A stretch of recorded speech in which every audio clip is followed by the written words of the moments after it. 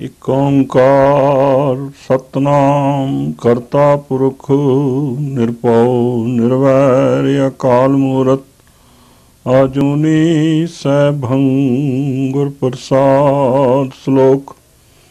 ਅਗਮ ਅਗਾਧ ਪਾਰ ਬ੍ਰਹਮ ਸੋਏ, ਜੋ ਜੋ ਕਹੈ ਸੋ ਮੁਕਤਾ ਹੋਏ।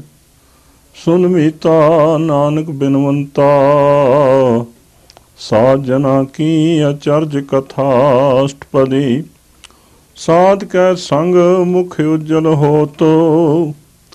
ਸਾਧ ਸੰਗ ਮਲ ਸਗਲੀ ਖੋਤੋ। ਸਾਧ ਕੈ ਸੰਗ ਮਿਟੈ ਅਭਿਮਾਨੋ। ਸਾਧ ਕੈ ਸੰਗ ਪ੍ਰਗਟੈ ਸੁ ਗਿਆਨੋ ਸਾਧ ਕੈ ਸੰਗ 부ਝੈ ਪ੍ਰਭ ਨੇਰਾ। ਸਾਧ ਸੰਗ ਸਭ ਹੋਤ ਬੇਰਾ ਸਾਧ ਕੈ ਸੰਗ ਪਾਏ ਨਾਮ ਰਤਨ। ਸਾਧ ਕੈ ਸੰਗ ਏਕ ਉਪਰ ਜਤਨ। ਸਾਧ ਕੀ ਮਹਿਮਾ ਵਰਨੈ ਕੌਣ ਪ੍ਰਾਨੀ। ਨਾਨਕ ਸਾਧ ਕੀ ਸੋਭਾ ਪ੍ਰਭ ਮਾਹੇ ਸਮਾਨੀ। ਵਾਹਿਗੁਰੂ ਜੀ ਕਾ ਖਾਲਸਾ। ਵਾਹਿਗੁਰੂ ਜੀ ਕੀ ਫਤਿਹ। ਸਤਿਗੁਰੂ ਜੀ ਦੇ ਸਾਜੇ ਨਵਾਜੇ, ਗੁਰੂ ਪਿਆਰੇ ਦਰਸ਼ਕ ਸਜਣੋ, ਆਪ ਸਭ ਦੇ ਸਹਿਯੋਗ, ਅਸ਼ੀਰਵਾਦ ਅਤੇ ਸਤਿਗੁਰਾਂ ਦੀ ਬਖਸ਼ਿਸ਼ ਨਾਲ ਸ੍ਰੀ ਸੁਖਮਨੀ ਸਾਹਿਬ ਜੀ ਦੀ ਲੜੀਵਾਰ ਵਿਚਾਰ ਚੱਲ ਰਹੀ ਹੈ। ਅੱਜ ਅਸੀਂ ਸਤਵੀਂ ਅਸ਼ਟਪਦੀ ਦੀ ਵਿਚਾਰ ਆਰੰਭ ਕਰ ਰਹੇ ਹਾਂ।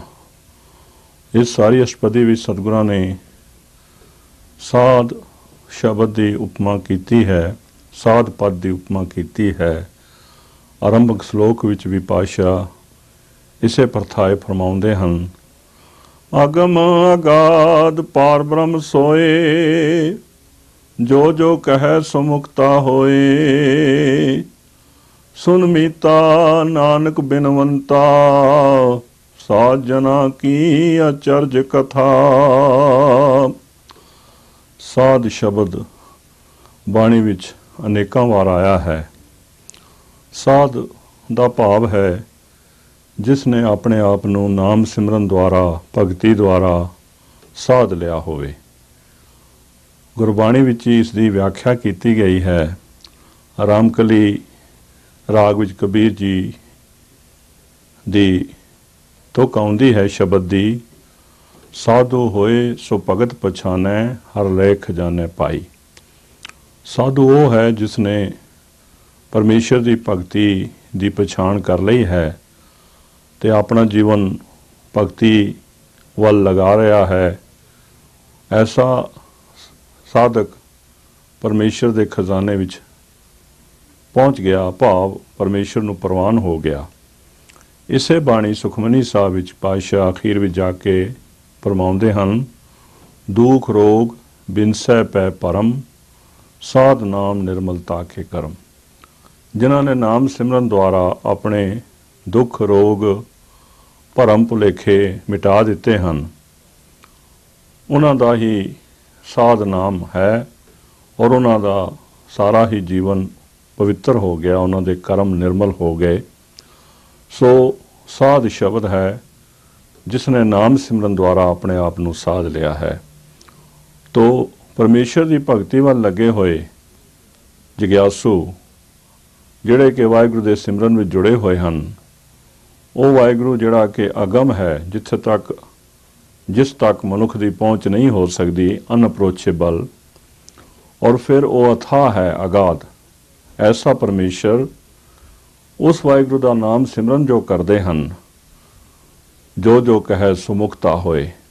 ਉਹਦਾ ਸਿਮਰਨ ਕਰਕੇ, ਉਹਦਾ ਨਾਮ ਜਪ ਕੇ ਉਹ ਜੀਵਨ ਮੁਕਤ ਹੋ ਜਾਂਦੇ ਹਨ। ਐਸੇ ਮਨੁੱਖ ਜਿਹੜੇ ਹਨ, ਇਹਨਾਂ ਦੇ ਹੀ ਬਾਰੇ ਮਹਾਰਾਜ ਕਹਿ ਰਹੇ ਹਨ ਸੁਨ ਮੀਤਾ, ਨਾਨਕ ਬਿਨਵੰਤਾ। ਹੈ ਮਿੱਤਰ, ਮੈਂ ਬੇਨਤੀ ਕਰਦਾ ਹਾਂ, ਮੇਰੀ ਗੱਲ ਸੁਣ। ਸਾਧ ਜਨਾ ਕੀ ਅਚਰਜ ਕਥਾ। ਇਹੋ ਜੇ ਸਾਧੂ ਪੁਰਸ਼ਾਂ ਦੀ ਬੜੀ ਹੀ ਅਜੀਬ ਵਾਰਤਾ ਮੈਂ ਤੈਨੂੰ ਸੁਣਾ ਰਿਹਾ ਹਾਂ। ਔਰ ਅਸਲ ਗੱਲ ਇਹ ਹੈ ਕਿ ਵਾਹਿਗੁਰੂ ਤਾਂ ਨਿਰਗੁਣ ਹੈ। ਉਹਦਾ ਕੋਈ ਰੂਪ, ਰੰਗ, ਰੇਖ ਪੇਖ ਅਸੀਂ ਸੰਸਾਰ ਵਿੱਚ ਨਹੀਂ ਵੇਖ ਸਕਦੇ। ਜਿਹੜੇ ਉਹਦੇ ਸਿਮਰਨ ਕਰਨ ਵਾਲੇ ਹਨ ਪਿਆਰੇ, ਉਹਨਾਂ ਦੁਆਰਾ ਹੀ ਪਰਮੇਸ਼ਰ ਦਾ ਅਨੁਭਵ ਹੁੰਦਾ। ਤੋ ਸਾਧ ਉਹ ਹਨ ਜਿਹੜੇ ਵਾਹਿਗੁਰੂ ਦੀ ਭਗਤੀ ਵੱਲ ਲੱਗੇ ਹੋਏ ਹਨ ਔਰ ਜਿਨ੍ਹਾਂ ਨੇ ਭਗਤੀ ਦੀ ਇੱਕ ਉੱਚੀ ਪਦਵੀ ਪ੍ਰਾਪਤ ਕਰ ਲਈ ਹੈ। ਔਰ ਆਪਣਾ ਮਨ ਸੰਸਾਰ ਦੀ ਮੋਹ ਮਾਇਆ ਵੱਲੋਂ ਹਟਾ ਕੇ, ਹੋੜ ਕੇ ਉਹ ਵਾਹਿਗੁਰੂ ਦੇ ਨਾਮ ਦੇ ਵਿੱਚ ਲੀਨ ਹੋ ਗਏ। ਉਹਨਾਂ ਨੇ ਆਪਣੇ ਆਪ ਨੂੰ ਸਾਧ ਲਿਆ ਹੈ। ਸੋ ਐਸੇ ਪੁਰਸ਼ਾਂ ਦੀ ਹੀ ਵਿਚਾਰ ਇਸ ਸਾਰੀ ਅਸ਼ਟਪਦੀ ਵਿੱਚ ਸਤਿਗੁਰੂ ਕਰ ਰਹੇ ਹਨ। ਸਤਿਗੁਰੂ ਫਰਮਾਉਂਦੇ ਹਨ, ਸਾਧ ਕੈ ਸੰਗ ਮੁਖ ਉਜਲ ਹੋਤੋ, ਸਾਧ ਸੰਗ ਮਲ ਸਗਲੀ ਖੋਤੋ। ਸਾਨੂੰ ਸਾਰਿਆਂ ਨੂੰ ਗੁਰਸਿੱਖਾਂ ਨੂੰ ਵੀ ਸਤਿਗੁਰਾਂ ਨੇ ਸਾਧ ਸੰਗਤ ਕਰਨ ਦਾ ਉਪਦੇਸ਼ ਕੀਤਾ ਹੈ। ਔਰ ਇੱਥੇ ਇਸ ਅਸ਼ਟਪਦੀ ਵਿੱਚ ਜਿਹੜਾ ਸਾਧ ਸ਼ਬਦ ਆਇਆ ਹੈ, ਉਹ ਬਹੁ ਵਚਨ ਹੈ ਪਲੂਰਲ ਹੈ। ਆਖਰੀ ਤੱਦੇ ਦੇ ਹੇਠਾਂ ਜੋ ਹੈ ਉਹ ਮੁਕਤਾ ਨਹੀਂ, ਆਪਣਾ ਆਖਰੀ ਤੱਦਾ ਜੋ ਹੈ ਮੁਕਤਾ ਹੈ। ਤੇ ਮੁਕਤਾ ਜਦੋਂ ਵੀ ਕੋਈ ਨਾਉਨ ਹੁੰਦਾ ਹੈ ਬਾਣੀ ਵਿੱਚ, ਉਹ ਪਲੂਰਲ ਵਿੱਚ ਹੁੰਦਾ ਹੈ, ਬਹੁ ਵਚਨ ਵਿੱਚ ਹੁੰਦਾ ਹੈ। ਤੇ ਇੱਥੇ ਸਾਧ ਸੰਗਤ ਤੋਂ ਵੀ ਭਾਵ ਨਿਕਲਦਾ ਹੈ ਕਿ ਜਿਹੜੇ ਵੀ ਪੁਰਸ਼ ਵਾਹਿਗੁਰੂ ਦੇ ਨਾਮ ਸਿਮਰਨ ਵਿੱਚ ਜੁੜੇ ਹੋਏ ਹਨ ਐਸੇ ਸਾਧ ਪੁਰਸ਼ ਜਿਹੜੇ ਹਨ, ਉਹਨਾਂ ਦੀ ਸੰਗਤ ਕਰਨ ਦਾ ਵਾਰ-ਵਾਰ ਸਤਿਗੁਰੂ ਸਾਨੂੰ ਉਪਦੇਸ਼ ਕਰਦੇ ਹਨ। ਤੋ ਐਸੇ ਸਤ ਸੰਗੀਆਂ ਦੀ ਸੰਗਤ ਕਰਕੇ ਸਾਡਾ ਮੂੰਹ ਉਜਲਾ ਹੋਏਗਾ ਤੇ ਸਾਡੇ ਮਨ ਦੀਆਂ ਮੈਲ ਦੂਰ ਹੋਏਗੀ। ਅਸਲ ਵਿੱਚ ਸਾਡੇ ਮਨ ਦਾ ਔਰ ਤਨ ਦਾ ਆਪਸ ਵਿੱਚ ਬੜਾ ਡੂੰਘਾ ਸੰਬੰਧ ਹੈ। ਜੈਸਾ ਮਨ, ਵੈਸਾ ਤਨ। ਤੋ ਜੇ ਮਨ ਪਵਿੱਤਰ ਹੋ ਗਿਆ, ਮਨ ਨਿਰਮਲ ਹੋ ਗਿਆ, ਤਾਂ ਜ਼ਰੂਰ ਹੀ ਸਰੀਰ ਉੱਤੇ ਉਹਦਾ ਪ੍ਰਭਾਵ ਪੈਂਦਾ ਹੈ। ਔਰ ਸਰੀਰ ਦਾ ਜਿਹੜਾ ਪ੍ਰਮੁੱਖ ਅਕ ਆਇਨਾ ਹੈ, ਉਹ ਸਾਡਾ ਚਿਹਰਾ ਹੈ, ਮੁਖ ਹੈ। ਤੋ ਸਾਧੂਆਂ ਦੀ ਸੰਗਤ ਕਰਕੇ ਸਾਡਾ ਮੂੰਹ ਉਜਲਾ ਹੁੰਦਾ। ਪਰ ਇੱਕ ਗੱਲ ਇੱਥੇ ਹੋਰ ਸਮਝਣ ਵਾਲੀ ਹੈ ਕਿ ਸੱਚੇ ਸਾਧੂਆਂ ਦੀ ਪਛਾਣ ਕੀਤੀ ਜਾਏ, ਸੱਚੇ ਭਗਤਾਂ ਦੀ ਪਛਾਣ ਕੀਤੀ ਜਾਏ, ਇਹ ਵੀ ਸਾਡੇ ਕੋਲ ਸਤਿਗੁਰਾਂ ਦੀ ਬਖਸ਼ਿਸ਼ ਦੁਆਰਾ ਇੱਕ ਕਸੌਟੀ ਹੋਣੀ ਚਾਹੀਦੀ ਹੈ।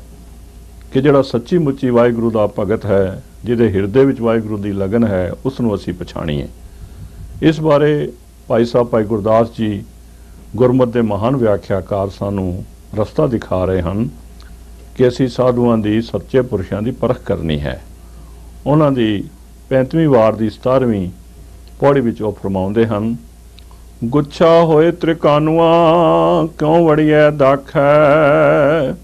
ਅੱਕੈ ਕੇਰੀ ਕੱਕੜੀ ਕੋਈ ਅੰਬ ਨਾ ਆਖੈ। ਤ੍ਰਿਕਾਣੂ ਜਿਹੜੇ ਨਿੰਮ ਨੂੰ ਲੱਗਦੇ ਹਨ, ਉਹ ਬੜੇ ਕੋੜੇ ਹੁੰਦੇ ਹਨ। ਉਹਨਾਂ ਦੇ ਗੁੱਛੇ ਵੀ ਤਕਰੀਬਨ ਅੰਗੂਰਾਂ ਦੇ ਗੁੱਛੇ ਵਰਗੇ ਲੱਗਦੇ ਹਨ। ਪਰ ਉਹ ਤ੍ਰਿਕਾਣੂਆਂ ਦੇ ਗੁੱਛਿਆਂ ਨੂੰ ਕੋਈ ਅੰਬ ਨਹੀਂ, ਕੋਈ ਅੰਗੂਰ ਨਹੀਂ ਆਖ ਸਕਦਾ, ਦਾਖਾ ਨਹੀਂ ਆਖ ਸਕਦਾ, ਉਹ ਤਾਂ ਬੜੇ ਕੋੜੇ ਹਨ। ਇਸ ਤਰ੍ਹਾਂ ਜਿਹੜੀ ਅੱਖ ਦੀ ਕੱਕੜੀ ਹੈ, ਉਹਦੀ ਵੀ, ਉਹਦਾ ਆਕਾਰ ਵੀ ਅੰਬ ਵਰਗਾ ਹੁੰਦਾ। ਪਰ ਉਸ ਨੂੰ ਕੋਈ ਅੰਬ ਨਹੀਂ ਕਹਿੰਦਾ। ਇਸੇ ਪ੍ਰਕਾਰ ਗਹਿਣੇ ਜਿਉ ਜਰ ਪੋਛਦੇ ਨਹੀਂ ਸੋਇਨਾ ਸਾਖੈ। ਫਟਕ ਨਾ ਪੁੱਜਨ ਹੀਰਿਆਂ ਓਏ ਭਰੇ ਬਿਆਖੈ। ਜਿਹੜੇ ਨਕਲੀ ਗਹਿਣੇ ਹਨ, ਉਹਨਾਂ ਨੂੰ ਕੋਈ ਸੋਨੇ ਦੇ ਗਹਿਣੇ ਨਹੀਂ ਆਖ ਸਕਦਾ। ਜਿਹੜਾ ਵੀ ਥੋੜੀ ਜਿਹੀ ਵੀ ਪਰਖ ਰੱਖਦਾ ਹੈ ਉਸ ਨੂੰ ਪਤਾ ਲੱਗ ਜਾਂਦਾ ਹੈ ਕਿ ਨਕਲੀ ਹਨ। ਇਸੇ ਤਰ੍ਹਾਂ ਕੱਚ ਦੇ ਜਿਹੜੇ ਬਲੌਰ ਹਨ, ਕੱਚ ਦੇ ਜਿਹੜੇ ਬੰਟੇ ਹਨ, ਗੋਲੀਆਂ ਹਨ, ਉਹ ਹੀਰੇ ਮੋਤੀਆਂ ਦੇ ਦੀ ਬਰਾਬਰੀ ਨਹੀਂ ਕਰ ਸਕਦੇ। ਹੀਰੇ ਮੋਤੀ ਤਾਂ ਮੋਲਕ ਹੁੰਦੇ ਹਨ, ਉਹਨਾਂ ਦੀ ਬੜੀ ਕੀਮਤ ਹੁੰਦੀ ਹੈ। ਪਰ ਕੱਚ ਦੇ ਜਿਹੜੇ ਗੋਲੀਆਂ ਹਨ, ਉਹ ਤਾਂ ਸਧਾਰਨ ਹੀ ਹੁੰਦੀਆਂ ਹਨ। ਇਸੇ ਤਰ੍ਹਾਂ ਤੌਲੇ ਦਿਸਨ ਛਾਹ ਦੁੱਧ ਸਾਦੋਂ ਗੁਣ ਪਾਖੈ। ਤਿਉ ਸਾਧ ਅਸਾਧ ਪਰਖੀਆਂ ਕਰਤੂਤ ਸੋ ਪਾਖੈ। ਦੁੱਧ ਵੀ ਤੇ ਲੱਸੀ ਵੀ ਦੋਵੇਂ ਦੇਖਣ ਵਿੱਚ ਇੱਕੋ ਰੰਗ ਦੇ ਹਨ, ਸਫੇਦ ਹੀ ਹਨ। ਪਰ ਜਦੋਂ ਉਹਨਾਂ ਦਾ ਸਵਾਦ ਚਖਿਆ ਜਾਂਦਾ ਤਾਂ ਪਤਾ ਲੱਗਦਾ ਵੀ ਲੱਸੀ ਤਾਂ ਖੱਟੀ ਹੈ ਤੇ ਦੁੱਧ ਮਿੱਠਾ ਹੈ। ਤਾਂ ਇਸੇ ਤਰ੍ਹਾਂ ਸਾਨੂੰ ਸੰਸਾਰ ਵਿੱਚ ਵਿਚਰਦਿਆਂ ਹੋਇਆਂ ਸਾਧ ਤੇ ਅਸਾਧ ਦੀ ਪਰਖ ਕਰ ਲੈਣੀ ਚਾਹੀਦੀ ਹੈ। ਕਈ ਵਾਰੀ ਦੇਖਣ ਨੂੰ ਦੋਵੇਂ ਇੱਕੋ ਤਰ੍ਹਾਂ ਦੇ ਲੱਗਦੇ ਹਨ ਔਰ ਖਾਸ ਕਰਕੇ ਜਿਹੜੇ ਅਸਾਧ ਹੁੰਦੇ ਹਨ, ਉਹਨਾਂ ਦਾ ਰੂਪ, ਉਹਨਾਂ ਦੀ ਸ਼ਕਲ ਸੂਰਤ, ਉਹਨਾਂ ਦੀ ਜੋ ਭੇਖ ਹੁੰਦਾ ਕਈ ਵਾਰੀ ਆਮ ਲੋਕਾਂ ਨੂੰ ਪ੍ਰਭਾਵਿਤ ਕਰ ਲੈਂਦਾ। ਪਰ ਉਹਨਾਂ ਦੀ ਕਰਨੀ ਦੁਆਰਾ, ਉਹਨਾਂ ਦੇ ਜੀਵਨ ਦੁਆਰਾ, ਉਹਨਾਂ ਦੇ ਆਚਾਰ ਦੁਆਰਾ ਅਸੀਂ ਉਹਨਾਂ ਦੀ ਪਰਖ ਕਰ ਸਕਦੇ ਹਾਂ। ਤਾਂ ਇਹ ਬੜੀ ਜ਼ਰੂਰੀ ਗੱਲ ਹੈ ਕਿ ਸੱਚੇ ਸਾਧੂਆਂ ਦੀ ਪਰਖ ਕਰਕੇ ਉਹਨਾਂ ਨਾਲ ਲੱਗ ਕੇ ਨਾਮ ਸਿਮਰਨ ਤੇ ਭਗਤੀ ਕੀਤੀ ਜਾਏ। ਔਰ ਉਹਨਾਂ ਦੇ ਨਾਲ ਜਦੋਂ ਅਸੀਂ ਜੁੜਾਂਗੇ ਤਾਂ ਫਿਰ ਸਾਡਾ ਮੂੰਹ ਉਜਲਾ ਹੋਏਗਾ, ਸਾਡਾ ਮਨ ਪਵਿੱਤਰ ਹੋਏਗਾ ਤੇ ਸਾਡੇ ਮਨ ਦੀ ਜਿਹੜੀ ਮੈਲ ਲੱਗੀ ਹੋਈ ਹੈ ਬਹੁਤ ਸਮੇਂ ਦੀ, ਜਨਮਾਂ ਜਨਮਾਂਤਰਾਂ ਦੀ, ਉਹ ਸਤਸੰਗਤ ਕਰਕੇ ਉਹ ਮੈਲ ਸਾਡੀ ਉਤਰ ਜਾਏਗੀ। ਐਸਾ ਉਪਦੇਸ਼ ਪਾਸ਼ਾ ਦੇ ਰਹੇ ਹਨ। ਸਾਧ ਕੈ ਸੰਗ ਮਿਟੈ ਅਭਿਮਾਨੋ, ਸਾਧ ਕੈ ਸੰਗ ਪ੍ਰਗਟੈ ਸੁਗਿਆਨੋ। ਸਭ ਤੋਂ ਵੱਡੀ ਜੋ ਰੁਕਾਵਟ ਹੈ, ਵਾਹਿਗੁਰੂ ਦੇ ਨਾਮ ਸਿਮਰਨ ਵਿੱਚ ਪਰਮੇਸ਼ਰ ਦੀ ਭਗਤੀ ਵਿੱਚ ਤੇ ਸਾਡੇ ਮਨ ਵਿੱਚ ਉਹ ਹੈ ਹਉਮੈ ਦੀ। ਆਸ਼ਾ ਬਾਣੀ ਵਿੱਚ ਵੀ ਕਹਿੰਦੇ ਹਨ, ਹਉਮੈ ਨਾਵੇਂ ਨਾਲ ਵਿਰੋਧ ਹੈ, ਦੋਏ ਨਾ ਵਸੈ ਇਕ ਥਾਂ। ਜਦੋਂ ਤੱਕ ਮਨ ਵਿੱਚ ਹਉਮੈ ਹੈ, ਹੰਕਾਰ ਹੈ, ਇਹਦੇ ਵਿੱਚ ਨਾਮ ਦਾ ਵਾਸਾ ਨਹੀਂ ਹੋ ਸਕਦਾ। ਤੋ ਜਦੋਂ ਵੀ ਸਾਧ ਸੰਗਤ ਕੀਤੀ ਜਾਵੇਗੀ ਸਾਧੂਆਂ ਦੀ, ਸੱਚੇ ਪੁਰਸ਼ਾਂ ਦੀ, ਕਿਉਂਕਿ ਸਾਧੂਆਂ ਨੇ ਆਪਣੀ ਹੋਮੇ ਦੀ ਮੈਲ ਬਿਲਕੁਲ ਹੀ ਲਾ ਦਿੱਤੀ ਹੁੰਦੀ ਹੈ।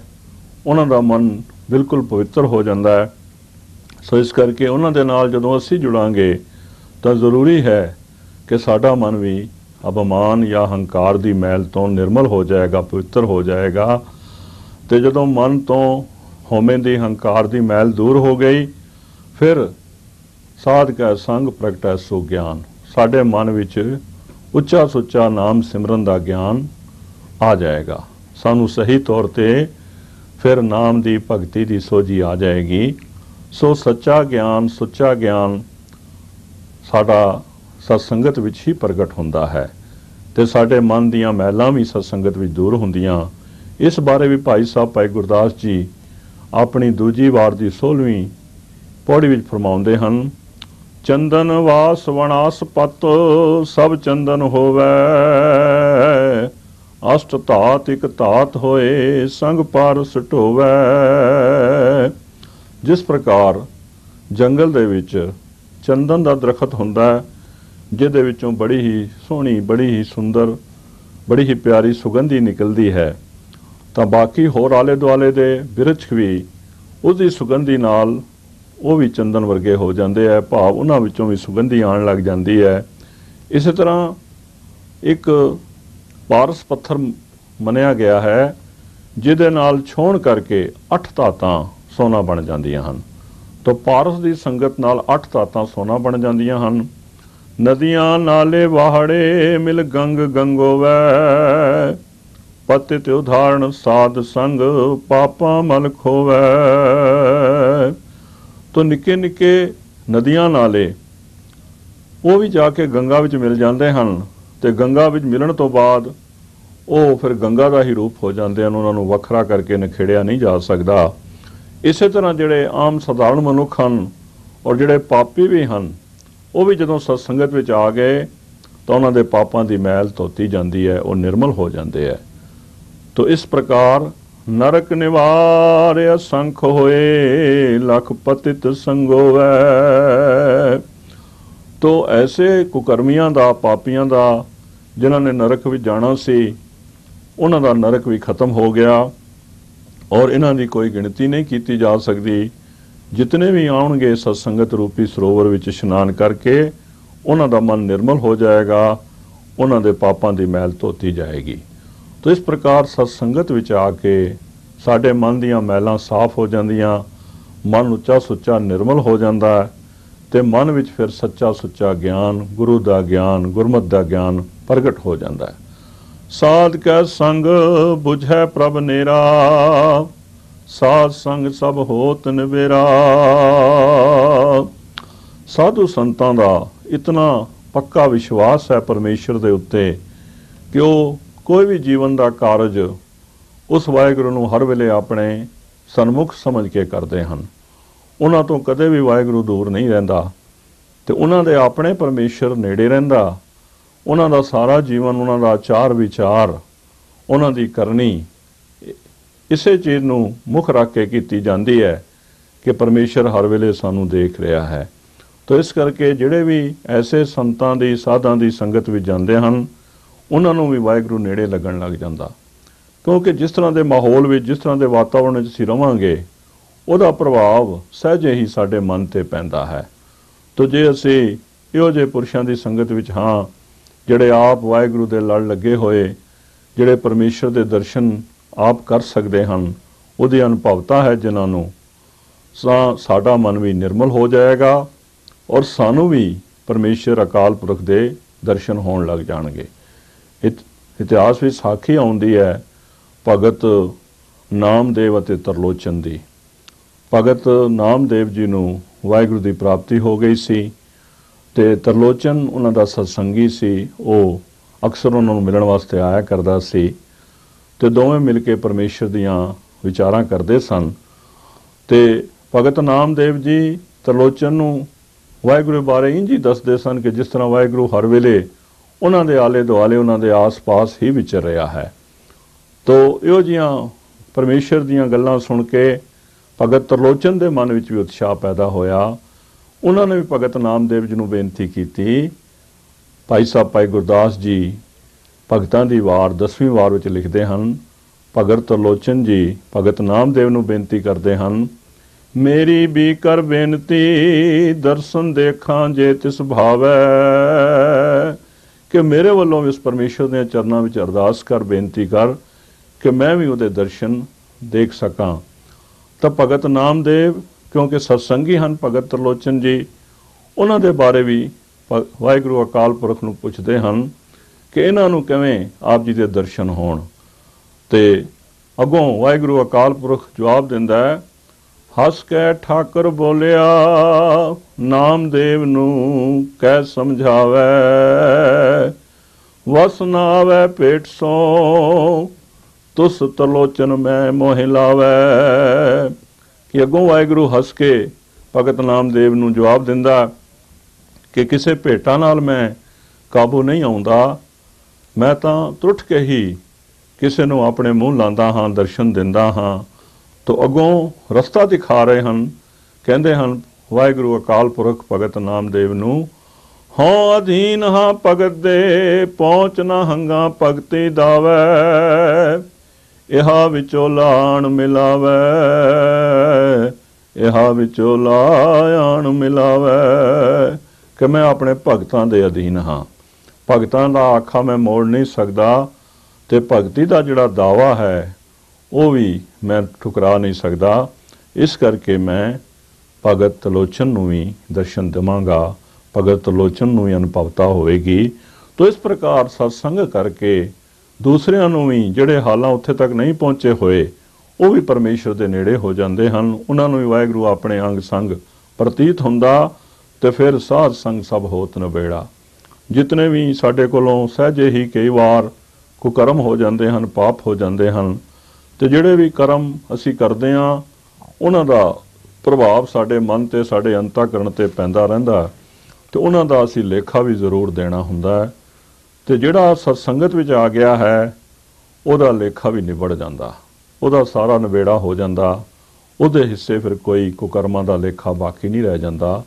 ਇਹ ਗੁਰਮਤ ਨੇ ਬਹੁਤ ਵੱਡੀ ਬਖਸ਼ਿਸ਼ ਕੀਤੀ ਹੋਈ ਹੈ ਕਿ ਜਿਹੜਾ ਵੀ ਸਿਮਰਨ ਵਿੱਚ ਆ ਗਿਆ ਸਤਸੰਗ ਵਿੱਚ ਆ ਗਿਆ, ਜਿਸ ਤਰ੍ਹਾਂ ਕੋਈ ਬੰਦਾ ਕਿਤਨਾ ਵੀ ਪਲੀਤ ਹੋਵੇ, ਮੈਲ ਨਾਲ ਭਰਿਆ ਹੋਇਆ ਹੋਵੇ, ਤੇ ਉਹ ਆ ਕੇ ਸਰੋਵਰ ਵਿੱਚ ਟੁੱਬੀ ਮਾਰੇ ਤਾਂ ਸਹਿਜੇ ਹੀ ਉਹਦੀ ਸਾਰੀ ਮੈਲ ਧੋਈ ਜਾਏਗੀ।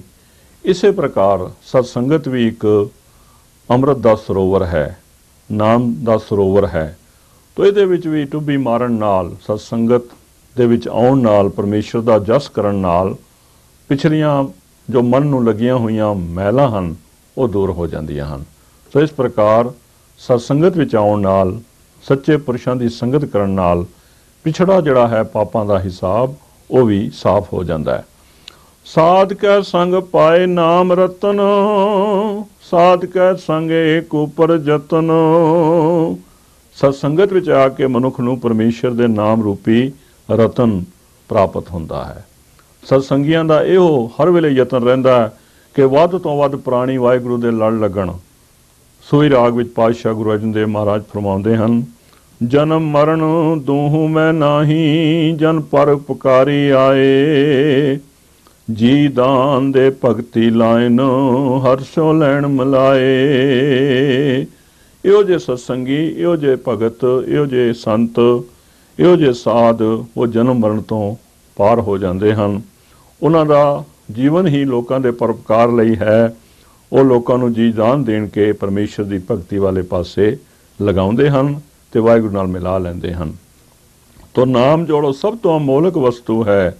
ਉਹ ਸਤਸੰਗਤ ਵਿੱਚੋਂ ਪ੍ਰਾਪਤ ਹੁੰਦੀ ਹੈ। ਔਰ ਸਤਸੰਗੀਆਂ ਦਾ ਹਰ ਵੇਲੇ ਇਹੋ ਵਿਚਾਰ ਹੈ, ਇਹੋ ਯਤਨ ਹੈ। ਇੱਕੋ ਪਰਮੇਸ਼ਰ ਦੀ ਭਗਤੀ ਉਹਨਾਂ ਦੇ ਜੀਵਨ ਦਾ ਉਦੇਸ਼ ਹੈ ਔਰ ਉਸੇ ਵਾਲੇ ਪਾਸੇ ਉਹ ਹਰ ਸਮੇਂ, ਹਰ ਵੇਲੇ ਪਏ ਰਹਿੰਦੇ ਹਨ। ਸਾਧ ਕੀ ਮਹਿਮਾ, ਵਰਨੈ ਕੌਣ ਪ੍ਰਾਨੀ ਨਾਨਕ ਸਾਧ ਕੀ ਸੋਭਾ ਪ੍ਰਭ ਮਾਹੇ ਸਮਾਨੀ। ਤੋ ਸਾਧੂ ਸੰਤਾਂ ਦੀ ਮਹਿਮਾ ਕਹਿਣ ਕਥਨ ਤੋਂ ਬਾਹਰ ਹੈ। ਉਹਨਾਂ ਦੀ ਮਹਿਮਾ ਅਸੀਂ ਕਰ ਨਹੀਂ ਸਕਦੇ। ਉਹਨਾਂ ਨੂੰ ਪਰਮੇਸ਼ਰ ਵਾਲੇ ਪਾਸੋਂ ਰਹਿਮਤਾਂ ਬਖਸ਼ਾਂ ਪ੍ਰਾਪਤ ਹੋਈਆਂ ਹਨ। ਤਨਾਸਰੀ ਰਾਗ ਵਿੱਚ ਸਾਹਿਬ ਸ੍ਰੀ ਗੁਰੂ ਅਰਜਨ ਦੇਵ ਪਾਸ਼ਾ ਫਰਮਾਉਂਦੇ ਹਨ, ਨਾਮ ਗੁਰ ਦਿਓ ਹੈ ਆਪਣਾ, ਜਾ ਕੇ ਮਸਤਕ ਕਰਮਾ। ਨਾਮ ਦ੍ਰਿੜਾਵੈ, ਨਾਮ ਜਪਾਵੈ ਤਾਕਾ ਜੁਗ ਮੈਂ ਧਰਮਾ। ਐਸੇ ਸਾਧ ਪੁਰਸ਼ਾਂ ਨੂੰ, ਸੰਤਾਂ ਨੂੰ ਵਾਹਿਗੁਰੂ ਨੇ ਆਪਣੇ ਨਾਮ ਦੀ ਬਖਸ਼ਿਸ਼ ਦਾਤ ਕੀਤੀ ਹੋਈ ਹੈ। ਉਹਨਾਂ ਦੇ ਮੱਥੇ ਦੇ ਚੰਗੇ ਕਰਮ ਹਨ ਤੇ ਉਹੀ ਹਰ ਵੇਲੇ ਸਾਰਿਆਂ ਨੂੰ, ਸਤਸੰਗੀਆਂ ਨੂੰ ਨਾਮ ਜਪਾਉਂਦੇ ਹਨ, ਨਾਮ ਦ੍ਰਿੜਾਉਂਦੇ ਹਨ। ਉਹਨਾਂ ਦੇ ਜੀਵਨ ਦਾ ਉਦੇਸ਼ ਹੀ ਅਸਲ ਵਿੱਚ ਇਹ ਹੈ ਕਿ ਵਾਹਿਗੁਰੂ ਦੇ ਨਾਮ ਦੀ ਹੀ ਵਿਚਾਰ ਕਰਦੇ ਹਨ। ਜਨ ਕੋ ਨਾਮ ਵਡਾਈ ਸੋਭ, ਨਾਮੋ ਗਤ, ਨਾਮੋ ਪਤ ਜਨ ਕੀ ਮਨ ਜੋ ਜੋ ਹੋਗ। ਉਹਨਾਂ ਦਾ ਜੀਵਨ ਪਰਮੇਸ਼ਰ ਦੇ ਨਾਮ ਸਿਮਰਨ ਦੁਆਰਾ ਸੁਭਾਏਮਾਨ ਹੋ ਜਾਂਦਾ ਹੈ। ਤਾਂ ਉਹਨਾਂ ਦੇ ਜੀਵਨ ਦਾ ਪੂਰਾ ਦਾਰੋ ਮਦਾਰ ਵਾਹਿਗੁਰੂ ਦੇ ਨਾਮ ਉੱਤੇ ਹੈ। ਉਹ ਨਾਮ ਨੂੰ ਹੀ ਆਪਣੇ ਜੀਵਨ ਦੀ ਮੁਕਤੀ ਦਾ ਸਾਧਨ ਸਮਝਦੇ ਹਨ। ਨਾਮ ਨੂੰ ਹੀ ਆਪਣੇ ਜੀਵਨ ਦੀ ਇੱਜ਼ਤ ਆਬਰੂ ਸਮਝਦੇ ਹਨ। ਔਰ ਜੋ ਵਾਹਿਗੁਰੂ ਵੱਲੋਂ ਹੁਕਮ ਹੁੰਦਾ ਹੈ, ਉਹ ਸਿਰ ਮੱਥੇ ਤੇ ਮੰਨਦੇ ਹਨ। ਇਸ ਪ੍ਰਕਾਰ ਪਰਮੇਸ਼ਰ ਦੇ ਨਾਮ ਸਿਮਰਨ ਵਿੱਚ ਜੁੜੇ ਹੋਏ ਸਾਧਾਂ ਦੀ ਸੰਗਤ ਕਰਕੇ ਹਰ ਇੱਕ ਦਾ ਭਲਾ, ਹਰ ਇੱਕ ਦਾ ਕਲਿਆਣ ਹੁੰਦਾ। ਤੇ ਗੁਰੂ ਮਹਾਰਾਜ ਵਾਰ-ਵਾਰ ਸਾਧਾਂ ਦੀ ਉਪਮਾ ਕਰਦਿਆਂ ਹੋਇਆਂ ਸਾਨੂੰ ਵੀ ਐਸੇ ਉੱਚੇ ਸੁੱਚੇ ਪੁਰਸ਼ਾਂ ਨਾਲ ਮਿਲ ਕੇ ਤੇ ਪਰਮੇਸ਼ਰ ਦਾ ਜਸ ਕਰਨ ਦੀ ਪ੍ਰੇਰਣਾ ਦੇ ਰਹੇ ਹਨ। ਤੋ ਸਾਰੀ ਵਿਚਾਰ ਦਾ ਜੋ ਆਧਾਰ ਹੈ, ਸਾਰੇ ਵਿਚਾਰ ਦਾ ਜੋ ਸਾਰਾਂਸ਼ ਹੈ, ਉਹ ਹੈ those who call upon the supreme being the unapproachable and unfathomable lord receive salvation these men of faith are called sadhus whose wonderful account is being given here in this Ashtapadi. In the holy company of such men of faith, seeker's life is cleansed of all the impurity, impurities. His vanities vanish. His mind is enlightened with true knowledge and he comes to realize the nearness of God. He obtains the jewels of Naam and his efforts are centered upon the devotion of one Lord.